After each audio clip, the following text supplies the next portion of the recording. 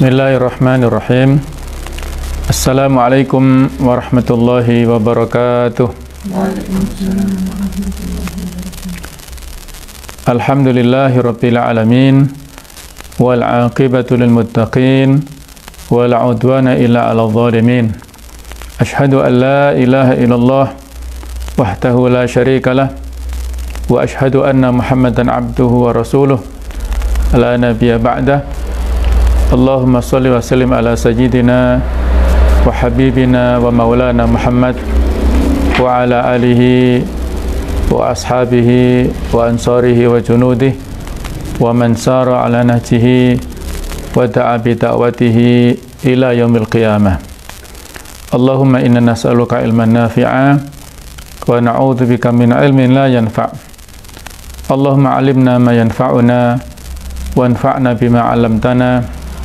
Allahumma inna nas'aluka al-ikhlasa fil amal. Allahumma barik lana fi sya'ban wa balighna ramadan.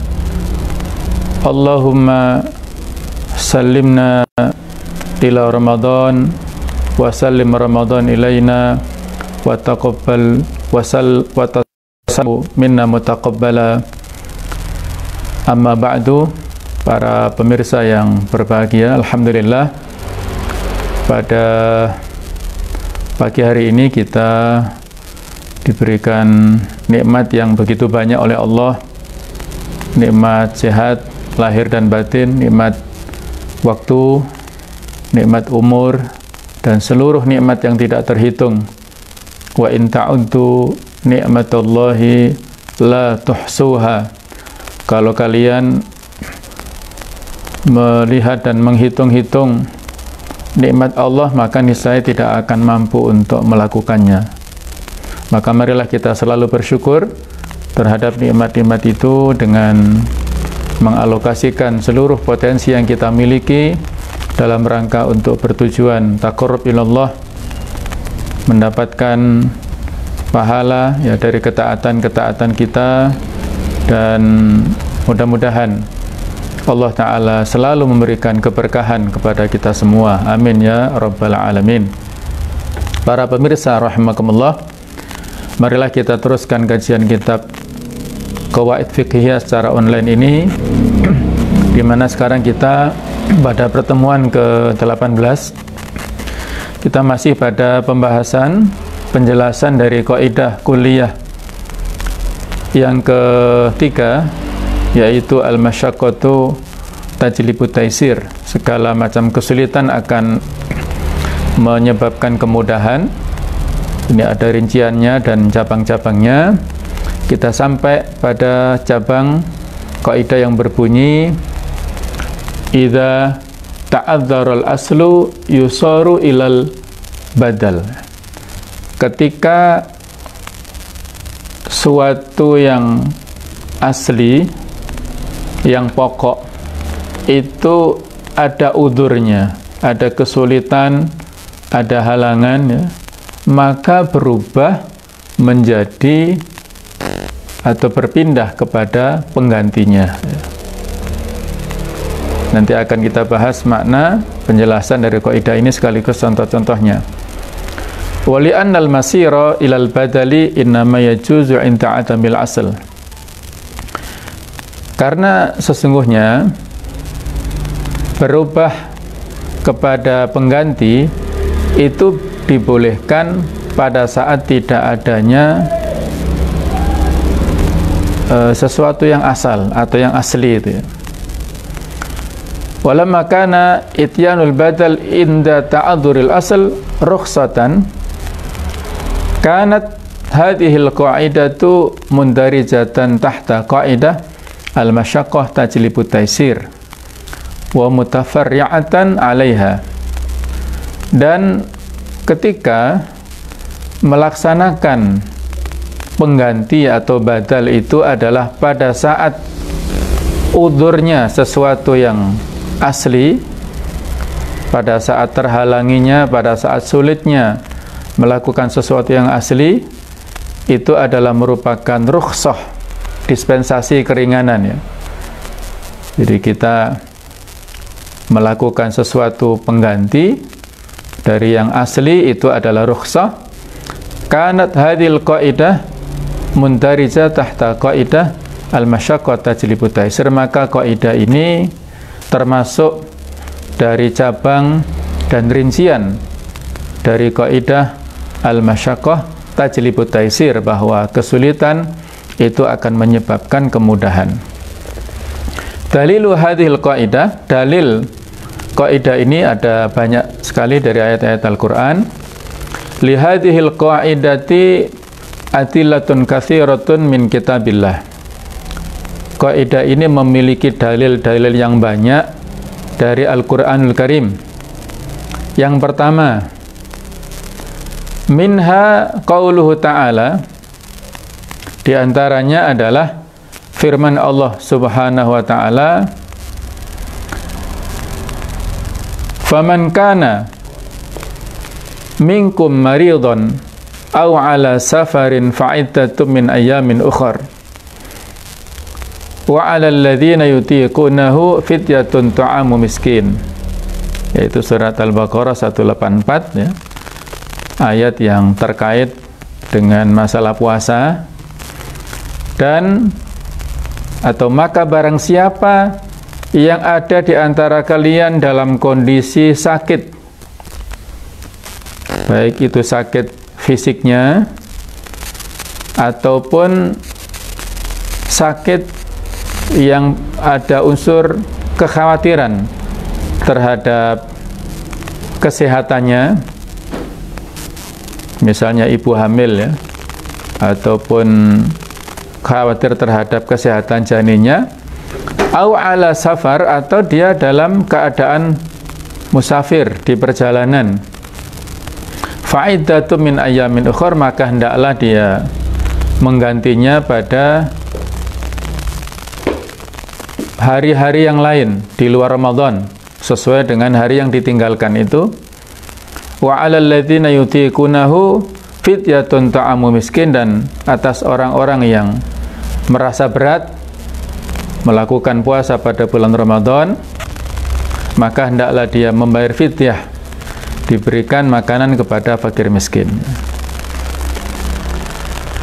Di kajian khusus masalah fikusiam sudah kita sampaikan ya bahwa ada kondisi-kondisi tertentu seseorang boleh tidak berpuasa yaitu dalam keadaan sakit dan bepergian orang yang tua ya yang tidak kuat puasa bahkan ada yang terlarang untuk melakukan puasa yaitu perempuan yang dalam keadaan haid maupun nifas.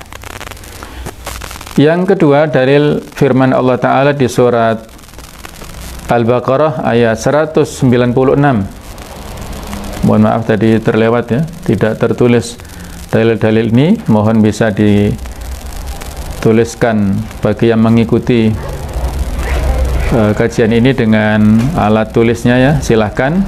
Tadi ayat pertama surat Al-Baqarah 184 ayat kedua surat Al-Baqarah 196 fa idza amintum faman tamatta'a bil umrati ilal haji famastaisara minal had maka ketika kalian dalam kondisi aman maka barang siapa yang melaksanakan tamattu tamattu artinya bersenang-senang bil umrati ilal haji dengan melaksanakan umrah kemudian melaksanakan ibadah haji. Sebagaimana kita ketahui bahwa haji ini pilihan dalam hal pelaksanaannya yang biasa di masyarakat kita untuk masyarakat Indonesia sebagaimana anjuran dari Kemenak sejak dulu kita melaksanakan haji secara tamattu yaitu kita berihram untuk melaksanakan umroh dulu kemudian dengan segala rangkaiannya sampai tahallul dan pada saat tanggal 8 Hijjah kita berangkat ke Mina dan seterusnya untuk niat melaksanakan ibadah haji jadi tamattu kita laksanakan haji, eh, kita laksanakan umrah dulu kemudian haji. Kemudian kiron itu adalah secara bersama-sama ya. Kita laksanakan haji dan umroh secara bersama-sama. Kemudian ifrat itu adalah hanya melaksanakan ibadah haji. Yang diharuskan kita untuk membayar al-hadyu famastaisara minal hadyi maka hendaklah dia membayarkan dari al-hadyu yaitu sesembelihan jadi semacam ada istilah dam ya damut tamattu jadi dam yang harus kita bayarkan itu bagi orang yang melaksanakan ibadah haji dengan model tamatuk dan kiron.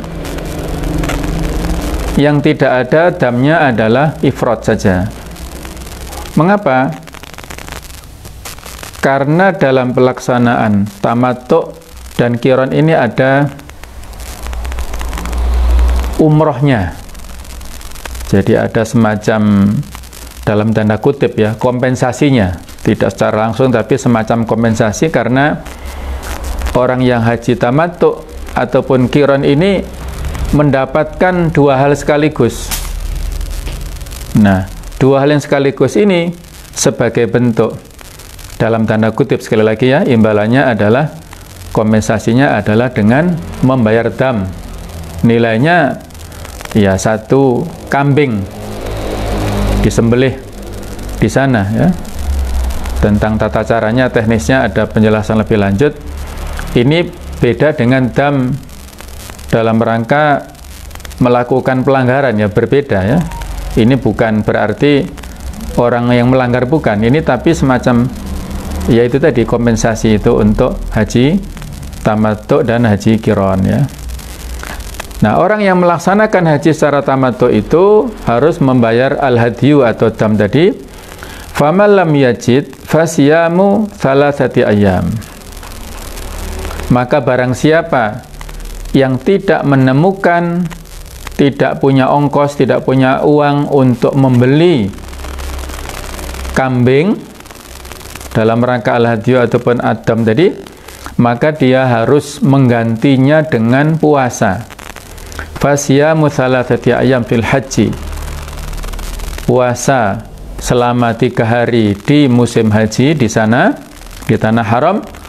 Wasaba'atin idza raja'tum dan tujuh hari pada saat pulang. Tilka asyaratun kamilah itu adalah sepuluh hari yang sempurna. Jadi yang asas yang asli adalah membayar dam tadi sedangkan puasanya adalah penggantinya sebagaimana ayat pertama yang asas adalah puasa Sementara kodoknya atau membayar fidyahnya itu adalah sebagai badalnya. Jadi kalau di sini saya tulis al-azimah dan ar-rukhsah ya. Al-asal itu adalah al-azimahnya, al-badal itu adalah ar-rukhsah. Kalau dalam ayat pertama, puasa itu azimahnya, sementara mengkodok atau membayar fidyah itu rukhsahnya. Kemudian dalam ayat kedua menyembelih dam untuk tamatuk itu adalah azimahnya. Jika tidak mampu karena udur ini maka dibayar dengan puasa selama atau sebanyak 10 hari.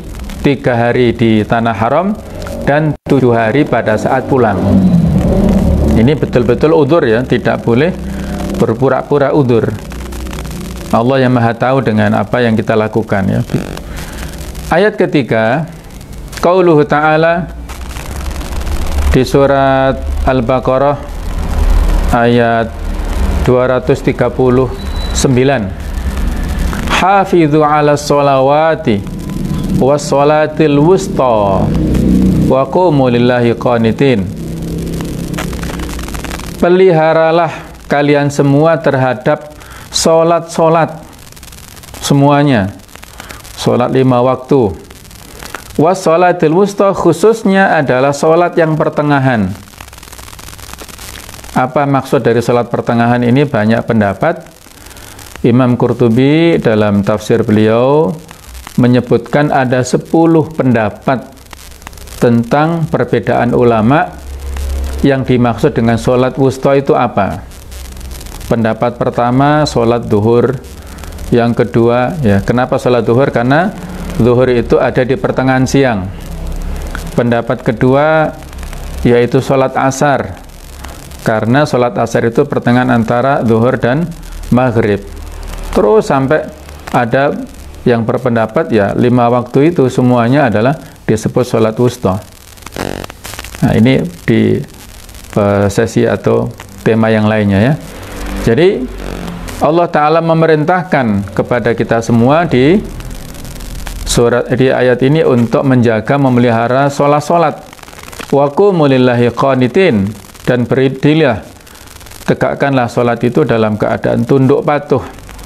Fa'in khiftum farijalan aurukbana apabila kalian dalam kondisi yang takut maka boleh dilaksanakan sambil berjalan ataupun sambil berkendaraan. Fa idza amintum ketika kalian sudah aman fadkurullaha kama 'allamakum ma lam takunu ta'lamun maka ingatlah sebutlah nama Allah sebagaimana yang telah Allah ajarkan kepada kalian eh, saat kalian sebelumnya tidak mengetahuinya.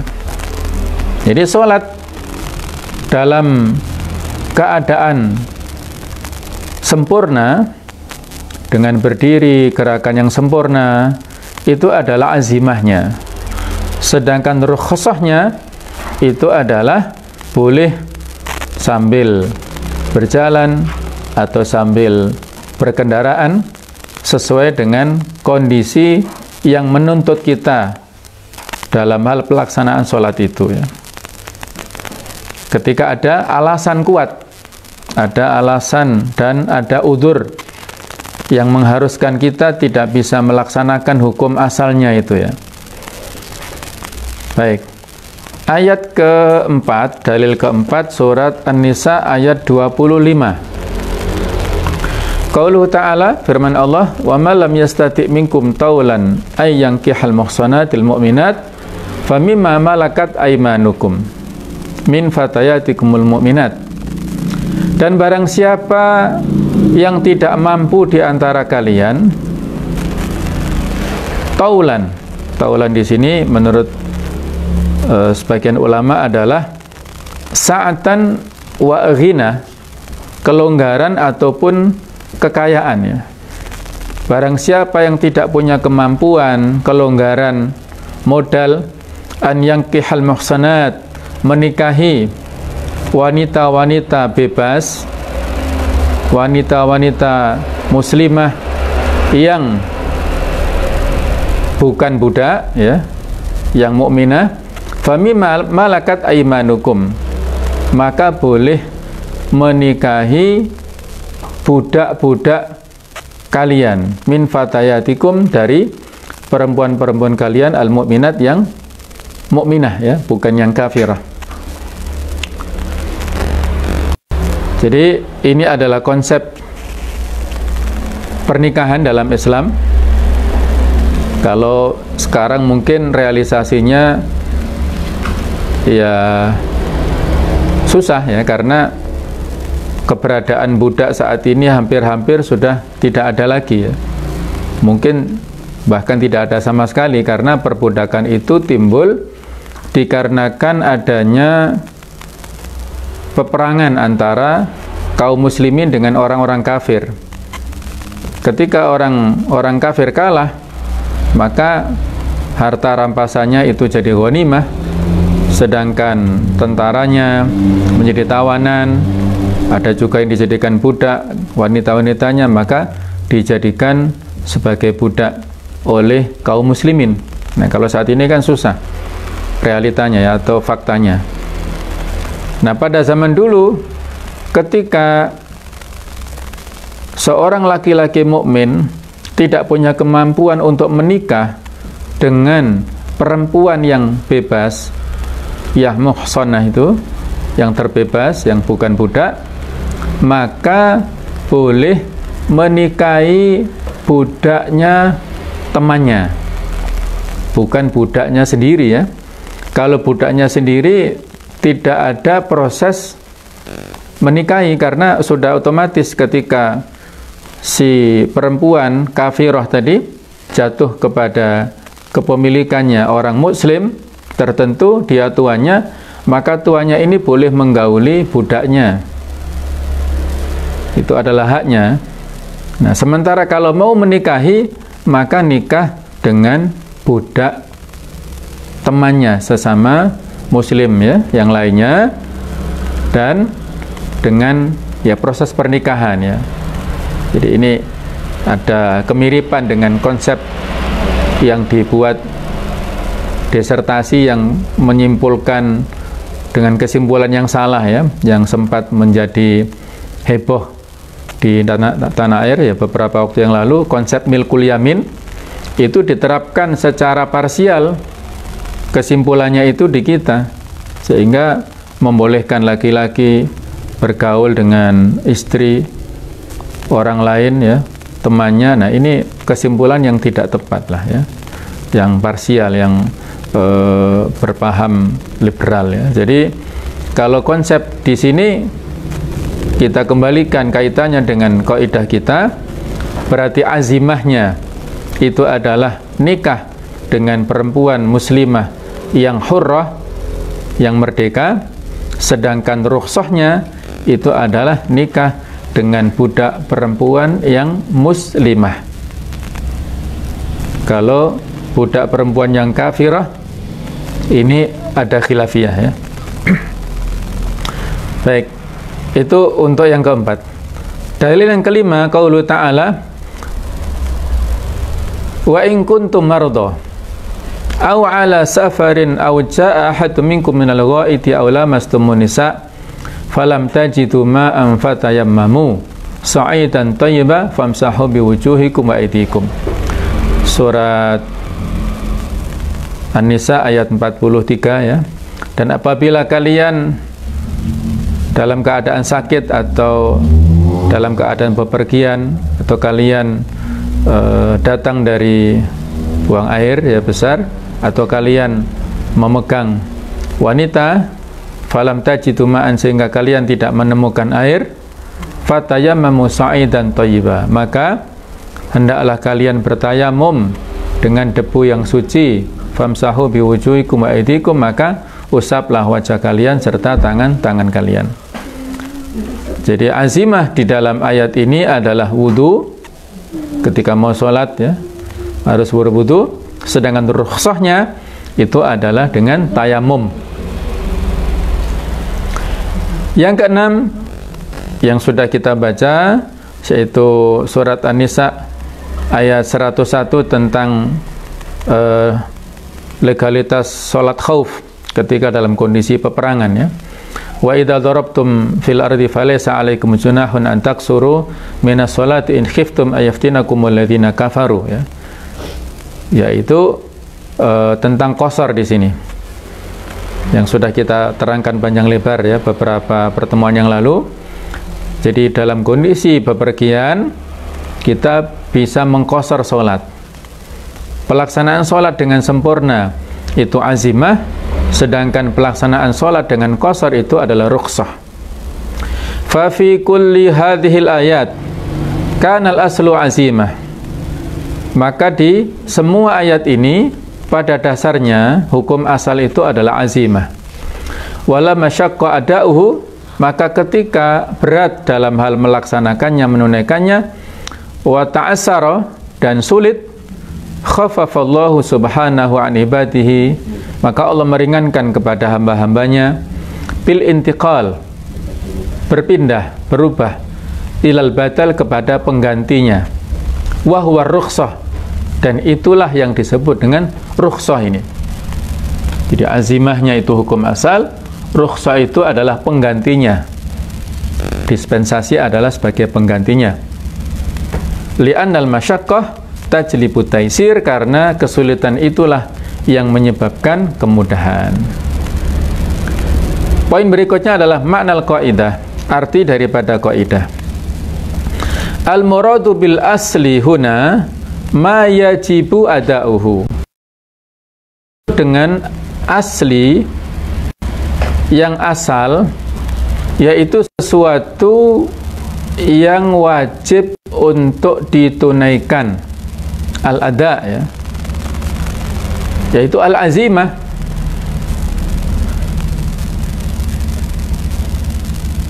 Jadi hukum asli itu adalah dilaksanakan secara sempurna yaitu disebut azimah. Walakin idza ta'adzara atau ta'assara wa syaqqa 'alal mukallaf akan tetapi pada saat kondisi udur kondisi sulit dan berat kepada seorang mukallaf walam yumkinhu ifaul asli dan tidak dimungkinkan dia untuk menunaikan yang asal bil fawati karena terlewat au atafwid atau karena uh, tertinggal ya. Yantakilul hukmu ilal badal. Ay ar maka berpindahlah hukum itu kepada pengganti atau kepada rukhsah. Nah, jadi maknanya ketika kita dalam kondisi yang sempit kondisi yang terbatas kondisi yang sulit maka kita diperbolehkan untuk melakukan badalnya penggantinya. Ya, ini saling melengkapi lah ya. Al masyaqqu tajlibu taisir ya. Kemudian idza dhaqal amru ittasa'a idza ta'adzara al aslu intaqala atau yusaru ilal badal ya. Itu saling melengkapi lah kaidah ini ya. Wa maknal ada arti daripada pelaksanaan. Al ada itu adalah pelaksanaan taslimu ainil wajib. Yaitu menyerahkan atau merubah uh, ainul wajib fisik dari sebuah kewajiban. Wa yakunu fi huquqillahi ta'ala. Kewajiban ini ada yang terkait dengan hak-hak Allah seperti salat ya. Kasolati ala waktiha. Salat tepat pada waktunya. Wa Ramadan. Puasa Ramadan. Ini hak-hak yang harus kita tunaikan kepada Allah. Wa yakunu fi huquqil ibad dan ada kewajiban yang terkait dengan haknya manusia. Karotil maksub seperti mengembalikan barang yang digosok, yang diambil tanpa izin, tuna nukson, tidak berkurang sama sekali, wa taslimu ainil mabi ilal mushtari dan menyerahkan fisik barang yang dibeli kepada orang uh, yang membeli ya. Jadi itu adalah makna daripada al-ada menunaikan sesuatu tepat pada waktunya tidak berkurang sedikit pun. Sholat tepat waktu puasa tepat waktu kemudian mengembalikan ghasab tadi tepat waktu tidak berkurang sama sekali. Dalam jual beli juga tidak ada uh, kekurangan sama sekali ya. Itu adalah al-ada'u atau al-azimah ya. Berikutnya adalah anwa'ul ada. Macam-macam pelaksanaan azimah ini al-ada. Anwa'ul ada al-ada'u salah satu anwa'in. Pelaksanaan itu terdiri dari tiga macam tiga jenis. Yang pertama ada un kamilun yaitu pelaksanaan yang dilakukan secara sempurna. Apa contohnya? Kasolati ala waktiha fi jama'atin solat yang dilakukan tepat pada waktunya secara berjamaah. Waratil maksub tuna nukson. Mengembalikan barang yang digosok ya yang diambil tanpa izin tadi yang dipakai tanpa izin tuna nukson tidak berkurang sama sekali. Itu adalah adaun kamil menunaikan melaksanakan sesuatu secara sempurna yang kedua adalah adaun naqisun. Pelaksanaan secara berkurang. Ya ini ghairu kamil ya tidak sempurna. Seperti adalah kasolati munfaridan. Solat yang dilakukan secara sendiri-sendiri. Para ulama dalam hal hukum sholat jamaah berbeda ya. Ada yang mengatakan sunnah muakkadah sunnah yang dianjurkan tapi ada juga sebagian mengatakan wajib. Maksudnya di sini berjamaahnya ya. Bukan masjidnya bukan ya, tapi berjamaahnya itu. Kalau berjamaah di masjid itu otomatis ya lebih afdol daripada berjamaah di rumah untuk yang sholat wajib ya. Tapi kalau yang sholat-sholat sunnah ada secara umum hadis mengatakan afdalu sholati fil buyut ilal maktubah.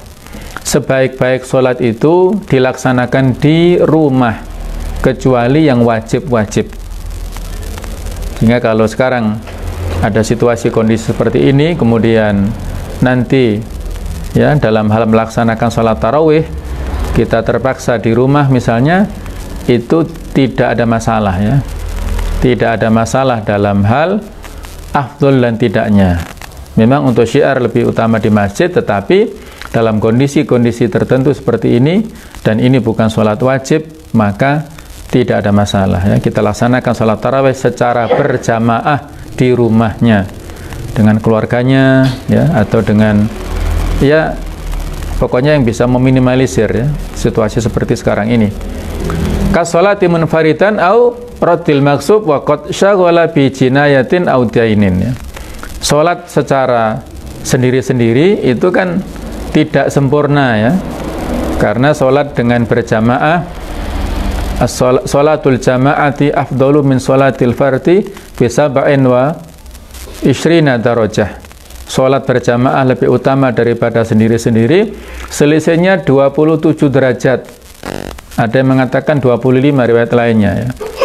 Jadi secara berjamaah itu adalah sempurna secara sendiri itu ada unakisun. Memang sah tapi pahalanya tidak sebanyak berjamaah. Kemudian mengembalikan harta yang diambil secara ghasab tadi waqad syaghala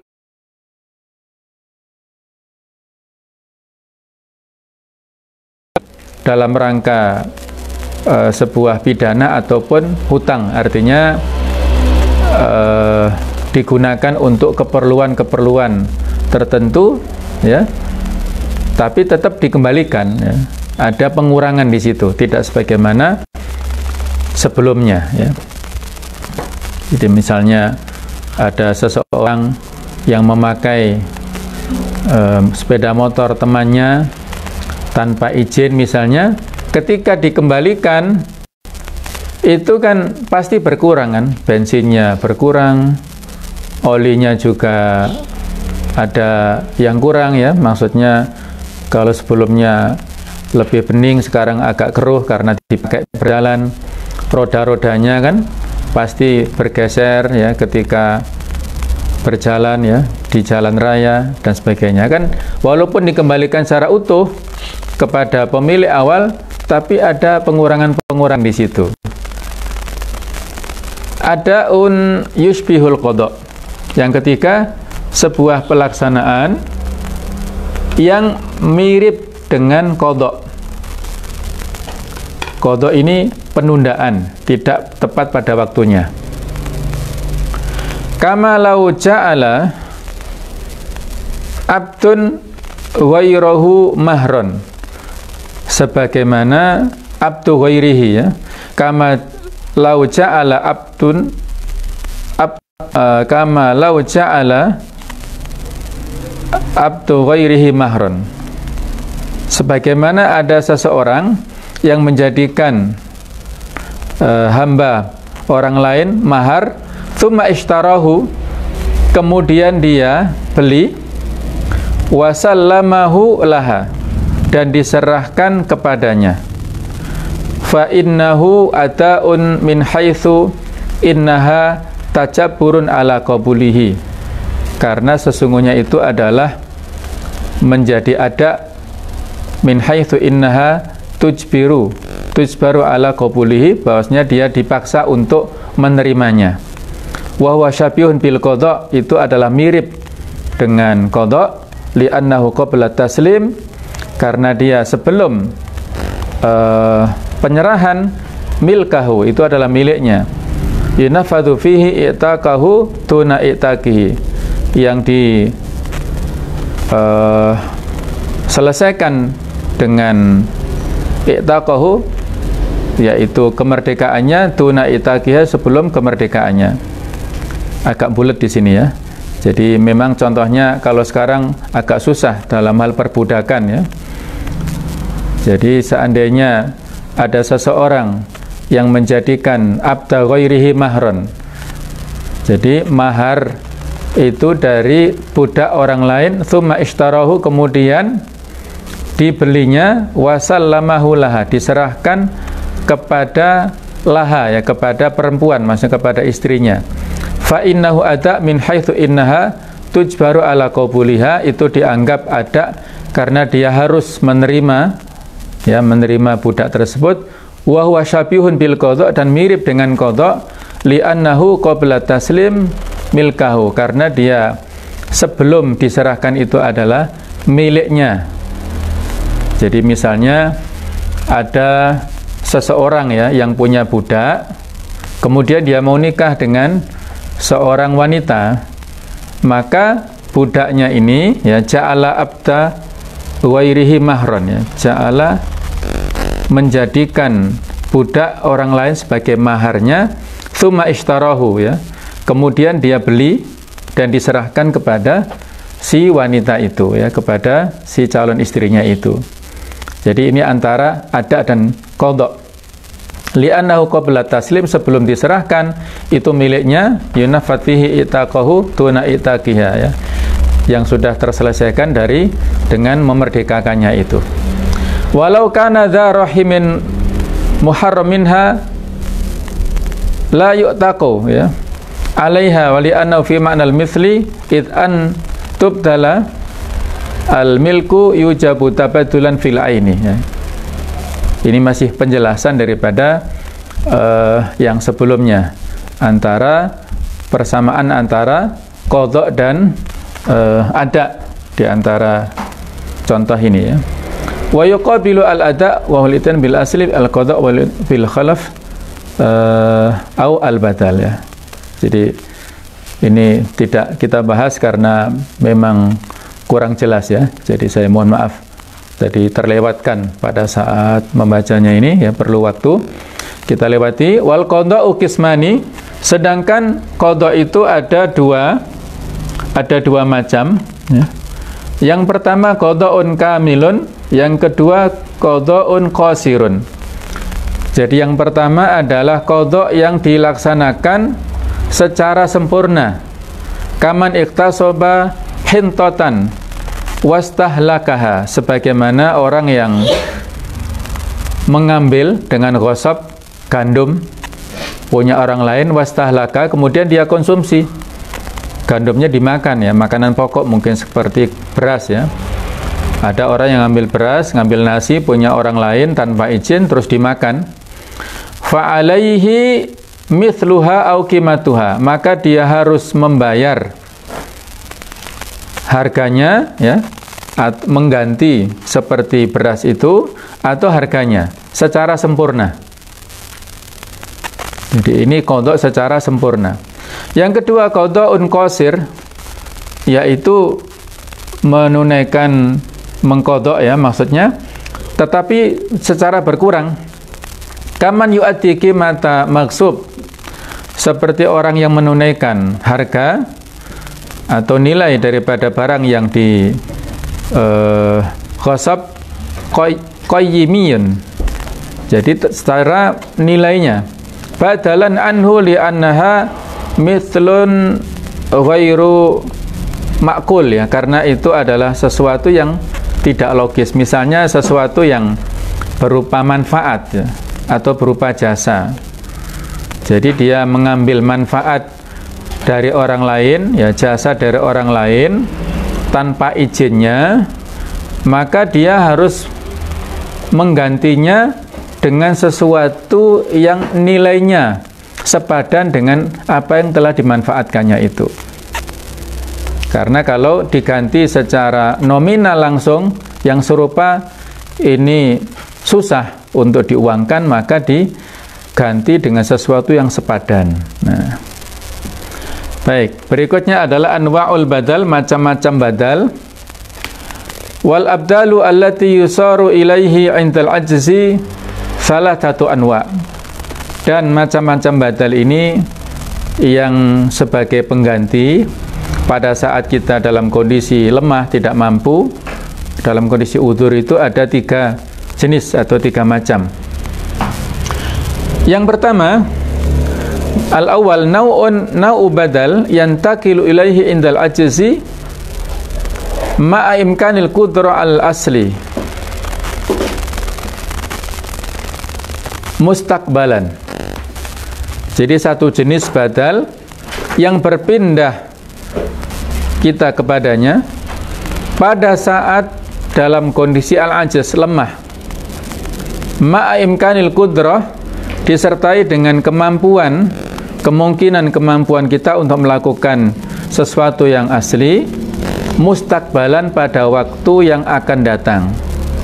Walakin yata'allaku biwaktin yafutu bifawatihi akan tetapi terkait dengan waktu keterlambatan. Nah, wa amthilatu contoh-contohnya ini. Man takhala alaihi waktu sholah. Barang siapa yang masuk waktu sholat Walam yajidil ma Dan dia tidak menemukan air Yantakilu ila tayamum Maka dia harus berpindah kepada tayamum Wa inkana yarju al-qudrah Walaupun dalam situasi itu dia mengharapkan punya kemampuan alal ma untuk mendapatkan air ba'da khurujil waktu setelah keluarnya waktu. Jadi ini uh, jenis batal yang pertama ya terkait dengan waktu tertentu yang apabila tidak dilakukan pada saat yang tepat menjadi terlambat begitu. Kita mau sholat sudah masuk waktu sholat ya, tetapi batasan waktu sholat itu terbatas. Kalau ini dalam kondisi safar, maka kan ada peluang untuk menjamak ya dan mengkosor juga. Dan misalnya kalau kita dalam sebuah perjalanan ya yang prediksi kita antara sholat uh, uh, duhur dan asarnya itu kita berangkat jam 11 kemudian prediksi kita itu misalnya habis maghrib berarti harus kita lakukan sholat duhur dan asar di perjalanan. Kita dapat air tapi sesudah nanti masuk maghrib sudah sampainya itu. Setelah maghrib misalnya maka dengan terpaksa kita mengganti wudhu untuk melaksanakan sholat itu ya dengan tayamum tapi para ulama menyampaikan ya bahwa untuk tayamum ini hanya dilaksanakan satu kali sholat saja. Ya, jadi kalau kita sholat duhur dengan satu kali tayamum, untuk sholat asar juga dengan tayamum yang berikutnya. Allahu alam itu sebagian pendapat mengatakan begitu ya, karena untuk satu uh, untuk tayamum ini berbeda secara implikasinya dengan wudhu. Ya, kalau wudhu itu satu kali wudhu bisa untuk berapapun selama kita tidak batal ya. Tapi kalau untuk tayamum itu satu kali tayamum untuk satu kali sholat fardu. Allahu alam bisawab ya. Kemudian al mutamatti orang yang melakukan haji dengan cara tamattu. Idza ajaza anil hadi ketika dia tidak mampu untuk mendapatkan uh, kambing tadi yaitu dam atau al-hadiyu mungkin karena tidak ada uang atau karena faktor yang lain yang takilu ila saum maka berpindah kepada puasa.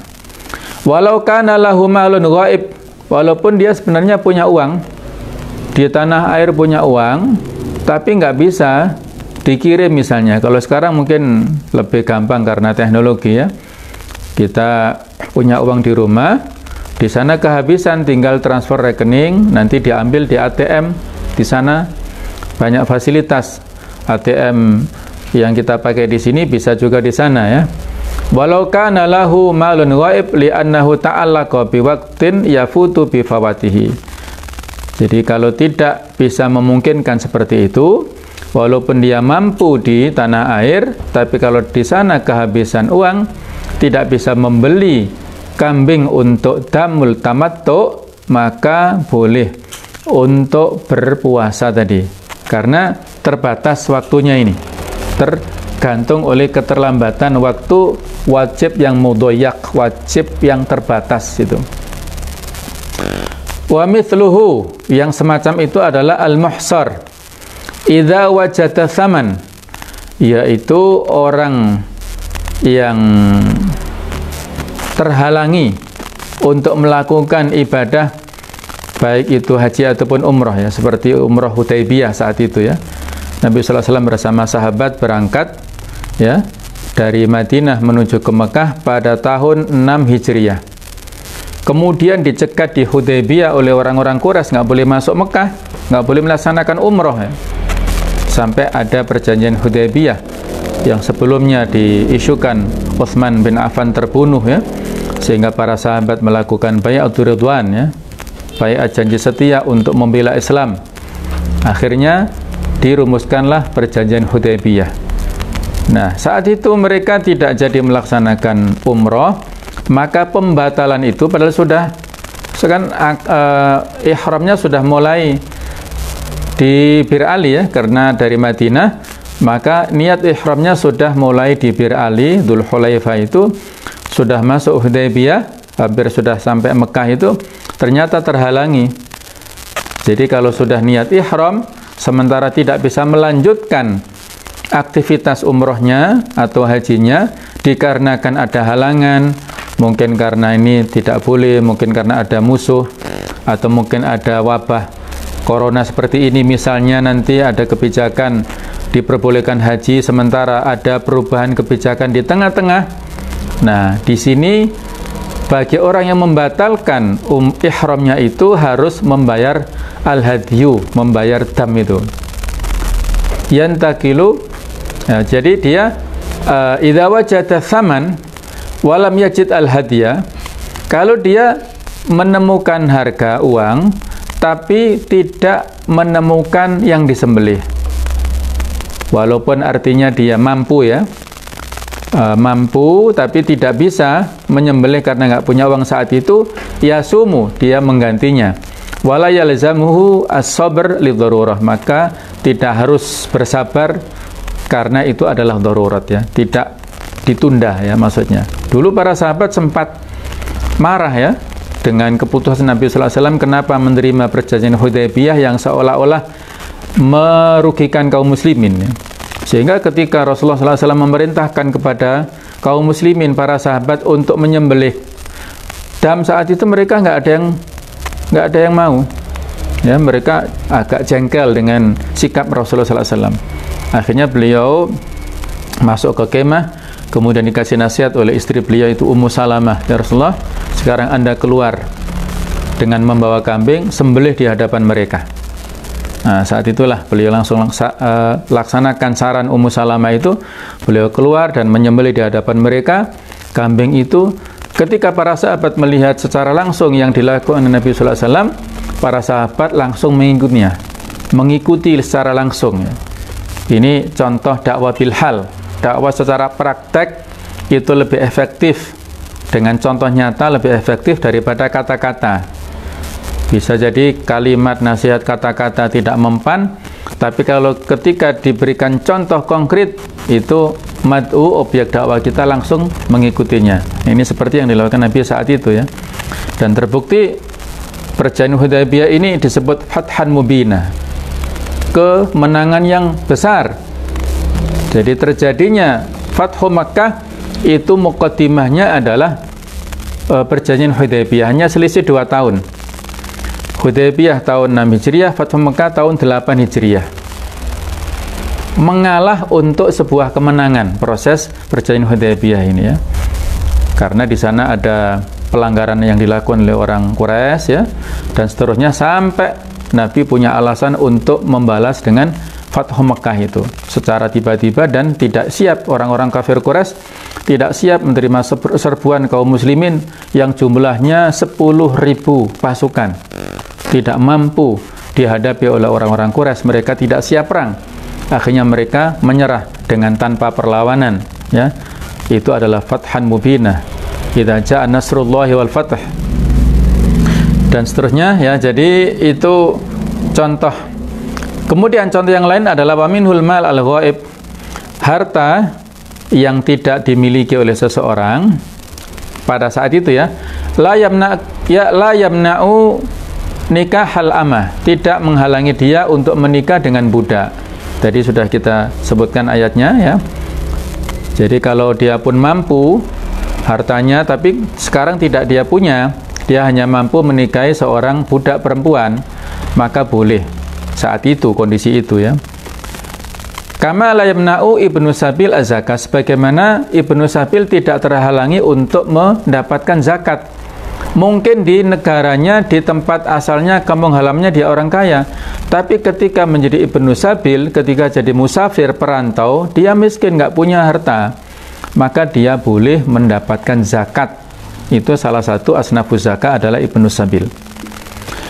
Baik, contoh atau jenis yang kedua, nau'un nau'u badal la yata'allaku biwaktin yaitu jenis badal yang tidak terkait dengan waktu.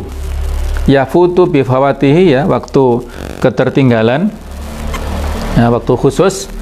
Wala yaduru ta'khirahu tidak berbahaya kalau diakhirkan.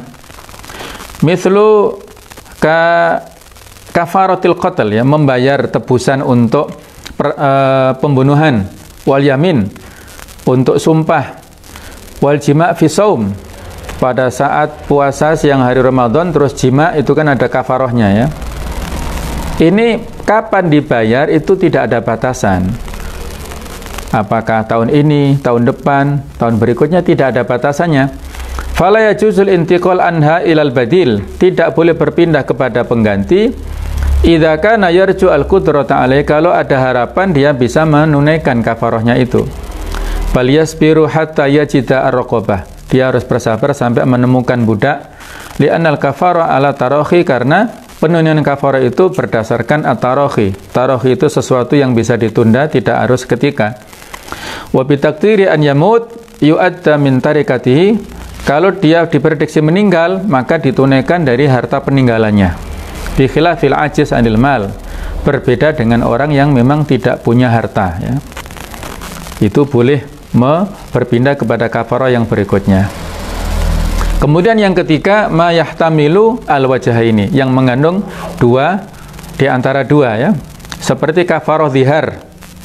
Yumkinu an yuqal ya bisa dikatakan yalzamahu at-ta'khir.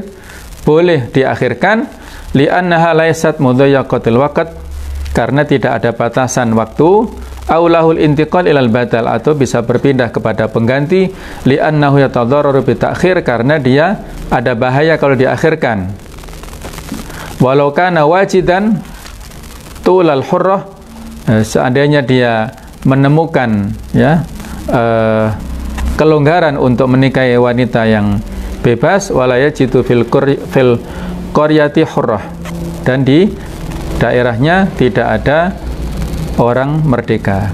Fahalau azawat bil ama apakah boleh menikahi wanita yang budak? Ini ada perbedaan ya. Baik, ini penjelasan dari macam-macam kodok. Kemudian di antara contoh-contoh yang lain ya dari kaidah kita kita percepat karena waktu yang terbatas ya. Idza mata zauju hina yahillu syahru. Ketika seorang suami meninggal pada awal bulan. Fabtida'ul iddah bil ahillah. Maka mulainya masa iddah itu adalah pada tanggal 1 hilalnya itu ya. Hilal itu kan muncul tanggal 1 setiap bulan Komariah. Lian karena hilal itu adalah merupakan asas yang asli dalam bulan-bulan al-Arabiyah ya, bulan-bulan Komariah. Menurut orang Arab Liqouli ta'ala berdasarkan firman Allah, "Qul hiya mawaqitu linnasi wal hajj." Ini jawaban untuk para sahabat yang bertanya uh, tentang masalah ahilla ya. Masalah hilal itu fungsinya apa? Yaitu dalam rangka untuk penentuan waktu dan untuk haji. Wa in mata khilala syahr kalau meninggalnya si suami itu adalah pada pertengahan-pertengahan bulan fal iddah maka hitungan iddahnya bil ayam pada hari-hari bi'tibari syahr salasuna yauman yaitu dengan hitungan satu bulannya itu 30 hari jadi misalnya tanggal 15 bulan Dhul Hijjah seorang suami meninggal maka tinggal dihitung tiga bulan ke belakang tanggal 15-nya itu jadi sesuai dengan tanggal meninggalnya itu kalau di pertengahan. Tapi kalau di awal-awal hitungnya tanggal 1 ya. Ida seorang perempuan yang ditinggal wafat oleh suaminya adalah 4 bulan 10 hari ya. Wa kadzal ijarah wa ajali ajali al Begitu pula untuk hitungan sewa menyewa, kemudian jatuh temponya jual beli kalau itu dengan kredit ya misalnya, maka eh, sesuai dengan akad transaksi yang terjadi pada pertengahan atau pada tanggal tertentu. Baik, kemudian uh, yadbahu atau yudbahu asaitu idas nasa. Jadi binatang buruhan itu disembelih ketika jinak. Wayak fi jarhun jarhun na'am ya. Jadi uh, aswaid di sini adalah binatang buruan untuk di daratan ya. Ya, di daratan. Kalau di lautan itu bangkainya sudah ada masalah ya. Jadi kalau di daratan kita berburu maka ketika memburunya itu dan binatangnya itu jinak ya bisa kita dapatkan dalam kondisi yang jina ya itu disembelih secara normal wa yakfi jarhun na'am uh, tawahish au sakot fi bi'rin walam yumkin dabhu. Dan cukup dengan melukai yaitu binatang ternak ya. Apakah itu kambing kemudian apa itu? Sapi ya. Kemudian unta yang uh, dalam kondisi tidak jinak ya. Maksudnya dia itu yaitu tadi ngamuk atau apa ya atau dia jatuh ke sumur susah kita untuk menyembelih secara normal maka cukup tadi dengan melukainya itu li'anna zakatal itiror karena menyembelih dalam keterpaksaan inna mayusaru ilaiha bisa dilakukan intel ajazi pada saat kita terhalangi untuk melakukan penyembelihan secara normal. Lama kanal aslu fi itsbatil ahkam huwal bayyina syar'iyyah ketika terjadi suatu hukum asal itu ditetapkan dengan bukti yang syar'i fa idza ta'adzaratil bayyinah ketika bukti itu sudah atau susah untuk didatangkan maka yang takilu ila badaliha berpindah kepada penggantinya. Fal amalu bil istishab innama yusaru ilaiha inda atami wujudil asal ya. Jadi kalau tidak ada bukti yang asli maka kembali atau bisa ke badal. Waruju ila ta'amul al-qa'imaina asabikin alal waqti badal minal bayina asyariyah. Jadi misalnya mengembalikan uh, ada contoh yang lain ya, tahkim mahar mithil menghukumi mahar misal, mahar yang sepadan. Mahar itu ada dua macam. Ada mahar musamma, mahar yang dinamakan sejak awal pada saat akad nikah. Itu konsekuensinya harus dibayar. Misalnya kalau seorang yang sudah menentukan mahar secara musamma tertentu, kemudian sudah akad selesai, nah ternyata ada masalah kemudian dia tidak jadi menggauli istrinya dan menceraikannya, maka di sini separuh yang dibayarkan ya kepada istrinya. Tapi kalau sudah sempurna dia sudah jima ya dengan istrinya misalnya terus ada masalah, misalnya ternyata mahramnya misalnya loh ya, maka dibatalkan pernikahan maharnya tidak bisa diambil. Tapi kalau itu mahar mithel artinya mahar yang belum ditentukan sejak awal ya, kemudian ada e, masalah misalnya istrinya meninggal dunia. Dia belum menentukan mahar berapa, maka nanti ditentukan mahar mithil, mahal mahar yang sepadan. Berapa sih uh, apa itu kebiasaan di situ? Nah, itulah yang menentukan adalah hakim ya. Kalau ada perbedaan antara suami istri sebuah mahar itu mereka menikah tapi belum ada kesepakatan mahar di awal, maka di sini dikembalikan kepada misl ya, mahar misl. Wala bainatil tidak ada keterangan bukti yang menunjukkan antara keduanya maka dikembalikan kepada mahar misl ya. Allah alam inilah para pemirsa yang berbahagia mohon maaf ya uh, atas segala kekurangan kekhilafan. Mudah-mudahan bisa kita fahami dan bisa kita jadikan sebagai inspirasi dan rujukan dalam masalah-masalah yang boleh jadi itu terjadi di sekitar kita. Subhanakallahumma bihamdik أشهد أن لا إله إلا أنت أستغفرك وأتوب إليك. والسلام عليكم ورحمة الله وبركاته.